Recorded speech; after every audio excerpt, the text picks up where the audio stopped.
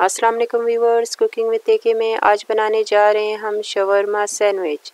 चलें देखते हैं कि इसको हमने किस तरह बनाया है और इसके लिए हमें क्या क्या चाहिए जो खाने में बहुत ही मज़ेदार बना हुआ है। कुकिंग विद एक को सब्सक्राइब करें और बेल के आइकन को क्लिक करें। इसके लिए हमें चाहिए आधा किलो मैदा। तीन टेबलस्पून गरम दूध sugar two tablespoon salt to taste yeast two teaspoon oil two teaspoon नीम गरम पानी मैंने लिया है हसब ज़रूरत। सबसे पहले नीम गरम पानी में हमने मिला लेनी है हीस्ट नमक और चीनी और इसको मिक्स कर कर, घोल कर हमने एक साइड पे रख लेना है। इसके बाद मैदे में मैंने डाल देना है नीम गरम दूध जो मैंने लिया था थ्री टेबल स्पून और ऑयल भी डाल दूँगी और इसको अच्छी तरह से मैंने कर लेना है मिक्स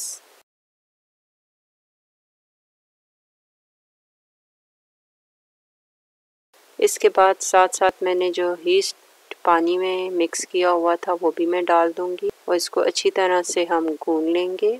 ये देखिए, मैंने डो जो है अच्छी तरह से गून ली है और इसको भी मैं रेस्ट के लिए रख लूँगी टू आवर्स के लिए।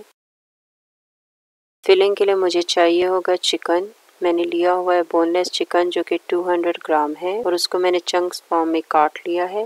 इसके बाद मैंने कुछ मशरूम ली हुई है हाफ़ कप उसको भी चंक फॉर्म में काट ली है। लहसन लिया हुआ है, मैंने चॉप किया हुआ two tablespoon salt to taste black pepper to taste soya sauce two tablespoon chilli sauce two tablespoon pan में मैं ऑयल डाल दूँगी थोड़ा सा, इसमें मैं डाल दूँगी लहसन। लहसन मैंने डाल दिया है और इसको मैंने नरम करना है ऑयल में। जो ही लहसुन की आपको खुशबू आने लग जाएगी, इसमें मैं डाल दूँगी चिकन।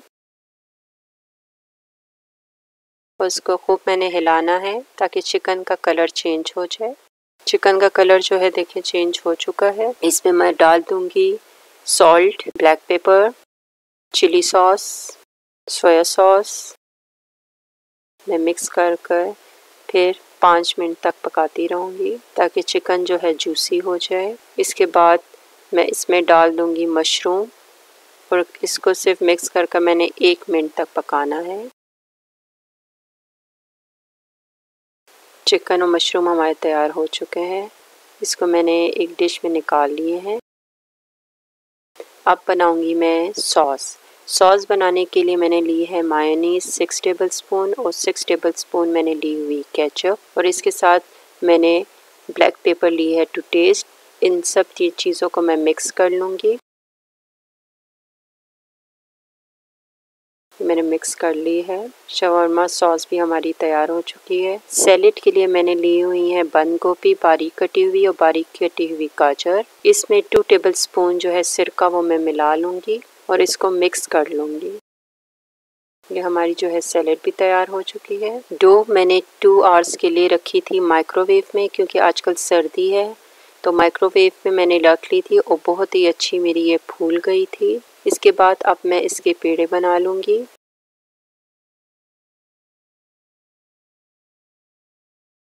मैंने एक पेड़ा बना लिया है, दूसरा भी बन गया है। ये हमारे पेड़े जो है वो तैयार हो चुके हैं।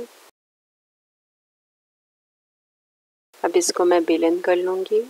आप चाहें तो हाथ से भी इसको कर लेंगे, क्योंकि ये बहुत सॉफ्ट सी डो है।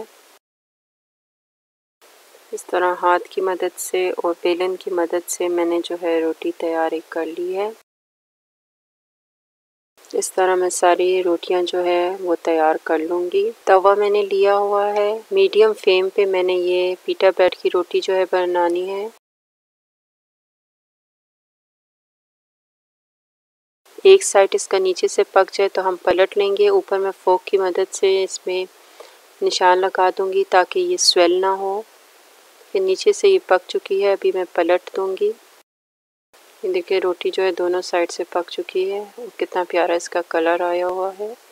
इसी तरह और भी रोटियाँ मैं बना लूँगी। हमारी पीटा ब्रेड जो है वो बन चुकी हैं। चिकन टिक्का भी तैयार है, सॉस भी तैयार है, मैंने श्रेडेड चीज़ ली हुई और सैलड भी तैयार है। चले, चलते हैं इसकी फिलिंग की तरफ़। फिलिंग के लिए एक पीटा ब्रेड मैंने ली है, उस पर मैं ज़रा सी केचप लगा लूँगी और इसको मैं रोटी पे फैला लूँगी। इसके बाद मैंने जो चिकन टिक्का बनाया था, वो इस पर मैं फैला लूँगी। इसके बाद मैं इसके ऊपर डाल दूँगी सैलेड सैलेड के ऊपर मैं डाल दूँगी सॉस। और फिर मैं इस पर डाल दूँगी श्रेडेड चीज़ जो मैंने ली हुई थी। और उसके ऊपर मैं रख दूँगी दूसरी पीटा ब्रेड और इसके ऊपर मैं फिर से चीज़ डाल दूँगी। ओवन को मैंने प्री हीट कर लिया है 200 टेम्परेचर पे और मैं सिर्फ़ फाइव मिनट के लिए इसको बेक करने रख दूँगी ताकि जो चीज़ है वो मेल्ट हो जाए। देखिए हमारा बहुत ही मज़े का जो है शवरमा सैंडविच तैयार हो चुका है। इसकी मैं अभी कटिंग कर लेती हूँ। आपको दिखाती हूँ कि कितने मज़े का हमारा बना हुआ है। ज़रूर ट्राई करें और अपना फीडबैक हमें कमेंट में सेक्शन में ज़रूर दें। नेक्स्ट रेसिपी के साथ फिर हाजिर होंगे। अल्लाह हाफिज़। वीडियो को लाइक करें कमेंट करें और शेयर करना ना भूलें।